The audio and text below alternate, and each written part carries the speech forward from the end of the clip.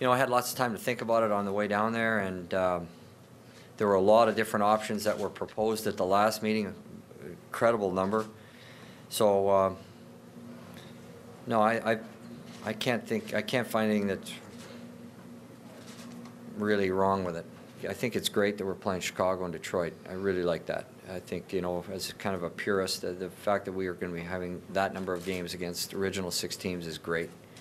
Um, and there's some, there's some very strong newer teams. I, I would, you know, I think of Nashville uh, and the success they've had uh, since they've been in the league. They're a very, very well-run organization. So, um, what I, you know, what, what that means to me is that you've got high watermark teams. You've got, uh, you know, that are successfully run, and and that's only a good thing. That's what you want to compete against. You want to, I think, in anything in life, you want to, you want to compete against uh, uh, the very best, and that's how you ought to be measured. So I, I think there's a great mix in, currently in that uh, in that conference that we have.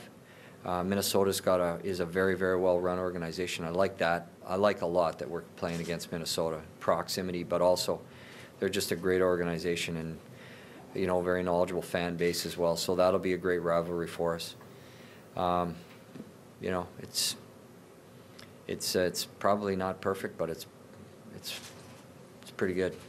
I think what sold the the the league or the, the owners on, on what we agreed on was that it, it, it corrected some wrongs, it, or, or some, it, you know, it helped people like Dallas, right, who've been playing on the, you know, who went to that division apparently 14 years ago temporarily, and they play all of their divisional games two time zones away.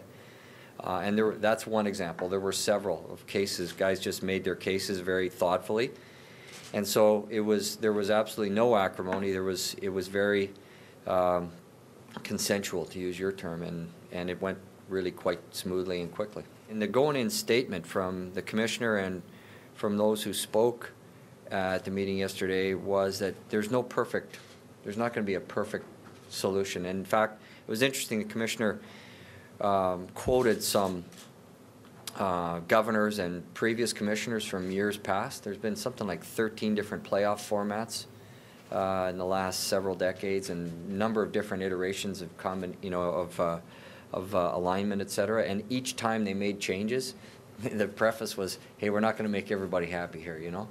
And so it's not perfect, and playoff. Uh, structure is is perhaps not perfect for the reasons that you mentioned, but it's still at the end of the day you got to win games, right?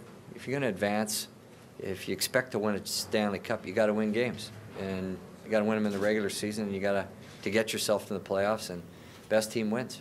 That's how it works.